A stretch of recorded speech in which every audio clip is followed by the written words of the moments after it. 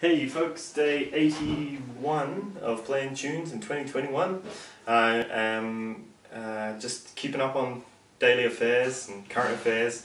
Uh, there's lots of flooding going up in uh, North New South Wales and Western Sydney.